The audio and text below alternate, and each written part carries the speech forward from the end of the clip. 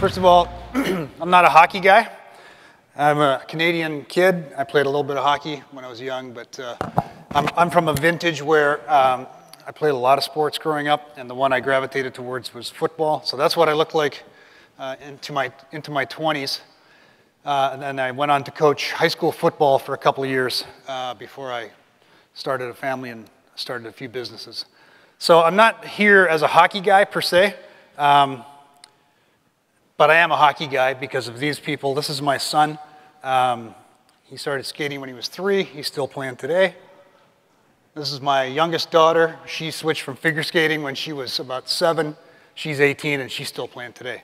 So I'm here for this reason. I think uh, it was mentioned earlier today that most of you are probably here for the same reason. You love the sport, you love coaching, you love kids. And I love my kids. And I loved hockey. Okay, I've seen a lot of good things come uh, from hockey for my kids, for my family. We've had a great time. Uh, but there's some things I didn't love about it. And that's, that's really how this company got started. So if any of you are hockey parents, you'll know this conversation. I used to pick my kids up from practice every week, or every, every day of every week. They jump in the back of the car. How was practice? Hmm. What's the answer? Good. Okay. What did the coach say to you? What's the answer to that? Nothing. Okay? Like my son's 21, he's been playing for what, 16 years? No coach has ever said a word to him. It's unbelievable. Okay? So I don't know how he learned the sport, but I don't know. So that was really the genesis of what we're doing. We're a feedback system. And this, this quote is a pretty good hockey quote. I can't be a hypocrite as a coach because as a player, that's what I wanted. I wanted feedback. Adam Oates said that. This was in the LA Times last week. Just seeing, he's talking, this is John Stevens, head coach of the Los Angeles Kings, talking about his two sons who've both signed NHL contracts. And he said, just seeing what it does to them when they get feedback and when they don't, that's been a real reminder to me of how important it is. Today, we all expect immediate feedback. We want to know what's going on. I've learned from that. I've had young players that maybe you don't talk to them every single day, but they need to know what they did well and what they didn't. They have less anxiety, they move on and get better right away as opposed to wondering where they stood. And then I heard this at a conference I attended this morning feedback matters. Acknowledge hard work, develop the individual, build up your people. Now, this is Glenn Gulutzan, John Stevens. These are NHL coaches talking about how much pro athletes need feedback. And if you think they need it, Take it down to a seven year old. They need it more. But who really needs it is the parents. Okay, so this is what I got periodically. I tried to dig these out of the drawers that I stuffed them in as my kids were growing up. And uh, I like this because somebody tried. People are trying to do this. They're trying to tell us things about our kids from their perspective. The interesting thing about this is that on the left hand side, one means bad, and on the right hand side, one means good. So as I read those two things, I have to figure out which one's which. So, coaches, like teachers, like parents, we all instinctively know that feedback is important to kids and to parents. So, we set out to create a system that would uh, be easy to use, that would enable coaches to quickly and efficiently provide feedback from themselves, one person, to many without actually talking to them. No, no need for um, face to face meetings, maybe once a year if you have to. So the system collects personal data. Now, I won't read all this stuff to you. Quantitative data, which is stuff that can be measured. Qualitative data, which is things like coachability and hockey sense. You can input video to illustrate what you're talking about, and you can provide comments, which is prescriptive coaching uh, commentary. We use a standardized uh, data collection methodology. Triangulation of sources means we ask uh, like my son's probably had 60 coaches in his life. If I asked all 60 coaches at different times in his life who don't know each other the same question and gave them the same method to answer the question, what they thought of his work ethic, if I aggregate all those answers, that's his work ethic. The truth is in that distributed uh, in, in, uh, answer system. So we aggregate and normalize the data. We capture all kinds of data. And we normalize it through an algorithm. We provide comparison sets. So I got a call at Christmas from a guy who said he's calling from Spain about hockey. I thought it was my buddy. Turns out it wasn't. His son plays for FC Barcelona, have a hockey team.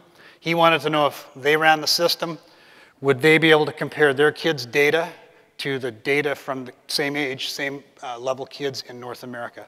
And the answer would be yes with our system. So the other things, age and ability neutral. So it's all, all got to be meaningful and valuable for six-year-olds or 26-year-olds. High hockey value. We work with a lot of advisors. I'm trying to compress about seven years of R&D into six minutes here. Um, but we got a lot of help from a lot of people to, to create the system. And last and not least, we want it to be low cost. So you don't need any expensive gear to run this thing. We want everybody to be able to access this system. So basically, it's a SaaS, a software as a service. It's web-based. It operates on any device, and it consists of uh, these top-level categories. Uh, skating, puck skills, fitness, intangibles, practice, and gameplay. There's a custom bucket, and there's about, nine, there's about 95 what we call dimensions within the system that you can use to provide feedback in a standardized way. So I'll just blast through these real quick. Drills for goaltenders, sliders to provide uh, or qualitative uh, feedback.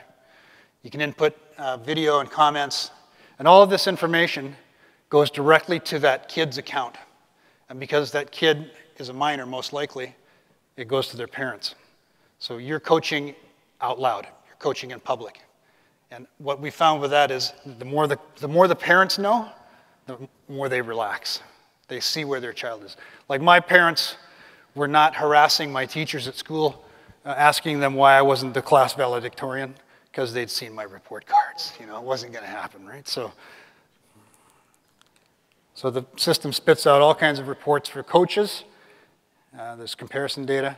And then the kids see their own data only and not the data of other kids. It's all, it's all anonymized at that point. So there's granular detail uh, that pops up. This is how the system's used on ice. This is a guy named Chris Collins. He's one of our early adopters. He's a former Boston College player, Hobey Baker runner-up, and his group has adopted this thing and they're pounding the heck out of it right now for us. So this is a uh, example of how it's used. Drills can be run with stuff you got around the rink, just cones, a whistle, and an iPad. As soon as you click stop, that data goes directly into that player's account. So for coaches, we're trying to help build trust with players and parents, provide that one-to-one and one-to-many prescriptive feedback, eliminate those time-consuming and contentious meetings, you know, the ones we all hate. I hate it as a parent. And as a football coach, try having 50 of them. It's not possible. Um, help clarify team and individual strengths and challenges. For the players, obviously they get to see their own personal strengths and their challenges in detail, um, but they can also see their progress over time. they can build a, per a, personal hockey transcript. This data stays with them and trends over, over their life, and, it, and they can make it visible to scouts and coaches uh, as they go forward and help them build strong competitive habits and growth mindsets. For the parents, we wanted to see and understand what's going on between the coaches and their children and help them understand their child's capabilities. And for organizations, it really gives them a 50,000 foot, well, in Canada, 15,240 meter view of their organization. We're trying to foster stronger connections to the parents so they can retain players in their programs and they can visualize the ROI that their coaches and programs bring to their parents. So we operate on two premises here. Feedback is fuel. When you get feedback, it might be good, it might be bad, but either way, a competitive athlete, a competitive person takes that and turns that into fuel to improve, and that knowledge is power.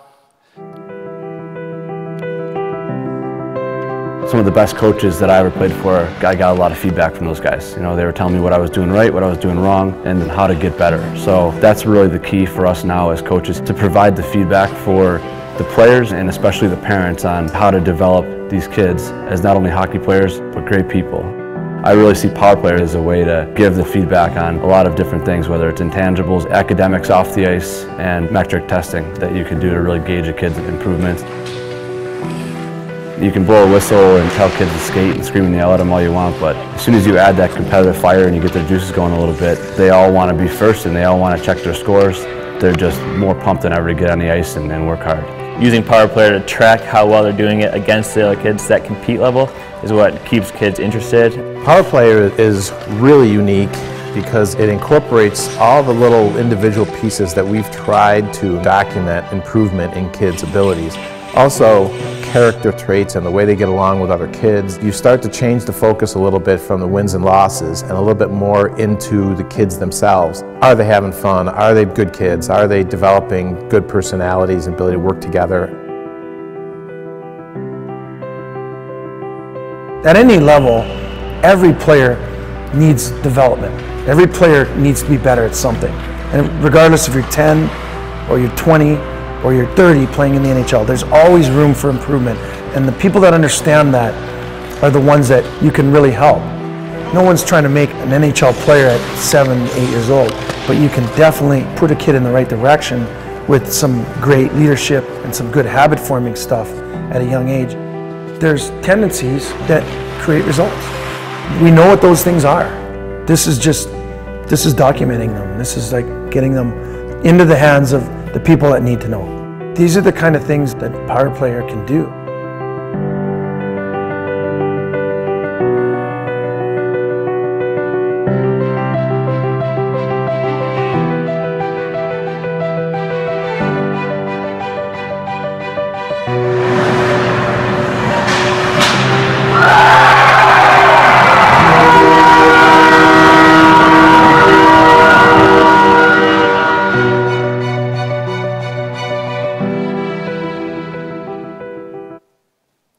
That's it. Thank you for your time. I appreciate it. If you got any questions, come see me. Appreciate it.